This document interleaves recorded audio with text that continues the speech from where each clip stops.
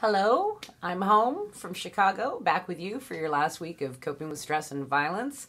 Um, you guys have done a great job. Uh, nobody should be stressing out about grades. Uh, your papers were nicely written. Your Prezi presentations were um, wonderful. Your discussion boards have been very um, thought provoking and interesting. and you've all been doing a great job for the last eight weeks. Uh, just a couple notes about grades. Uh, the last day of class this week is Friday. So I've already put this on the announcement board, but remember to have your discussion board um, response up by Wednesday night tomorrow and your peer responses by Friday. If anything shows up wonky in your grade, don't worry about that. If you've done everything you're supposed to do, you're fine. Uh, I will be checking grades over the weekend, and if I find anything that I need to address with you, uh, before I submit the final grade or something that, you know, I'm not seeing something and I need you to resubmit, I will contact you. So make sure that you check your email um, on the weekend. But um, everybody's been doing fine with this class. This has been really a nice self-directed class this whole eight weeks. You guys have done a fantastic job, and um, just really impressed with your uh, level of intelligence and thoughtfulness. Uh, and thank you for that. Uh, so for this last week, you know that you have the one discussion board question. You know that your binder, your resource binder, is going to be due. You submit that through the assignments upload, and then you are to read chapters 14 and 15 and overview the PowerPoints. Uh, just just a couple things that I wanted to talk about in relation to um, what the chapters state.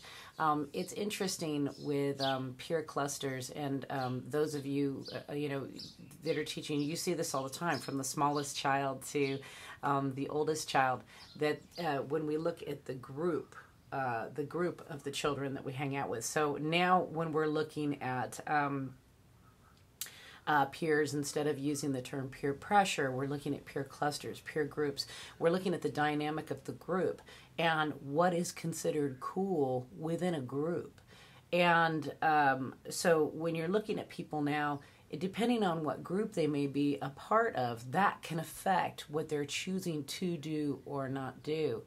And um, I spoke to you before that you know I I, I grew up with um, quite the punk influence from my older brothers, and um, because that was part of my peer group and that was accepted and what was validated and that was what was justified i went in that direction i could have easily gone into a different direction in a different group where something else was validated and justified and you all have these same stories um, so I think that's really interesting that they're starting to look at it like that. Um, there were a lot of things that I did when I was younger that I did just because I wanted to impress my group. Just stupid.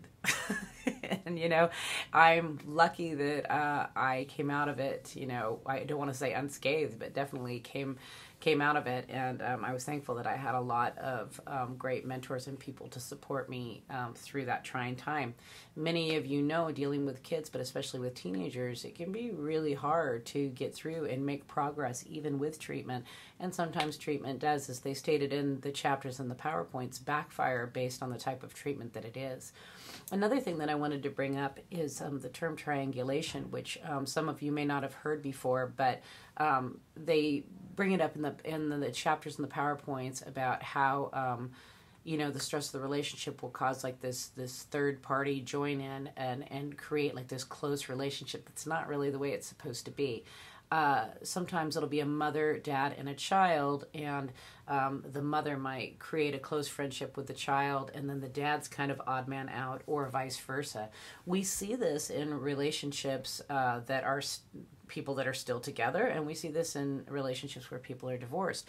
And it can be very hard when you're teaching to deal with that type of family dynamic. I just had an experience with this maybe two weeks ago where um, uh, one of my students, who I love dearly, a very sweet girl, had been living with her father um, the whole school year and had been doing wonderful in my class. And all of a sudden, the last three days um, before school was out, the mother wrote me this scathing you know, email uh, about about the child's grade. She was between an A and a B, and um, the child had lied to the mom about uh, the work and had said that she was uh, too sick to turn it in when she'd already told me and the father that there'd been an incident where a pet had gotten involved with the project and she had to redo it. And um, you get in that position where you're like, ooh, you know, how, how am I going to handle this? You know, eh, how bad is this going to be for our, our student if we don't handle this correctly because of this strange triangulation that's that's um, going on. So you could see that the mother was really the odd man out um, in um, the relationship uh, with the family and therefore was reacting out of uh, fear, um, ego. She was feeling um, definitely um, less than, and she was going to do everything in her power to um, smite basically myself, the father. Uh, it was it was really interesting, and uh, we have to be professional in these situations. And um, uh, she had cc'd the principal and the counselor on it. And of course you know i wrote back my professional email and did what i thought what was best for the child. And then the principal wrote me privately and he's like my my god you know what is that? And i'm like that's that's triangulation. That's what happens. These strange relationships and connections that aren't really the best for the child. But unfortunately, this family dynamic can cause all of this dysfunction and these problems.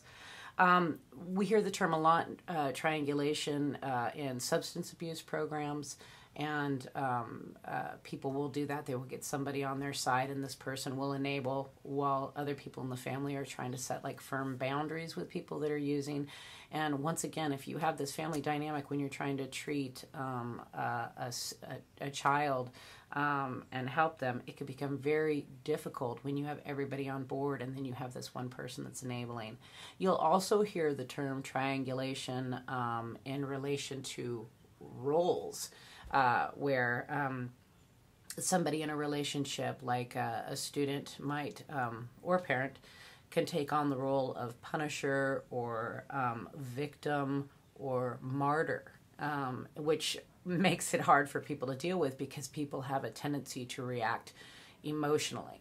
So um, we can see a student, you know, do something or say something that seems punishing to a parent um, or they'll go into the victim role. You always do this to me. I'm never, I wasn't your favorite child, those types of things. Uh, and then, of course, um, you know, the martyr, the long suffering person. And adults can do this, like I said, it's same as students. Students can say, you know, my, my, I put up with my parents and their divorce and it's, and, and I still get good grades and I do this. And you're like, oh boy. So, um, really interesting terms and really interesting ideas about treatment and how treatment has changed over the years. And we are seeing um, more of looking at the whole picture instead of just focusing on the student, looking at the peer clusters, looking at the family dynamics, and figuring out how um, we're going to handle the situation based on that. It's a very difficult road, as you know. If you've been teaching, you've already been in situations like this. Um, so I think uh, chapter 14 and 15 are very interesting in that you'll find um, uh, the information uh, about this uh, type of uh, treatment and influences and training to be very interesting. Um, that is about it. I um, hope you have a great week. If you need me for anything, please contact me. I'm back online on a regular basis. And just make sure that you stay on task this week. If there's anything that you need to make up or contact me about, please um, feel free to do so. Remember not to stress about your grades. You're all doing fine. And if I have any questions, I will email you over the weekend. So just make sure that you check your email. Okay? Um, have a wonderful rest of your summer. Hopefully, you'll get a little break before you start any more classes. Um, I hope to have you again sometime in one of our MIAD uh, classes. Uh, also, I hope you get a chance to have Professor Slater, my everyday teaching partner um, at my school, or my sister, Professor Gallagly, um, who you will love. Uh, have a wonderful time, and I will talk to you later.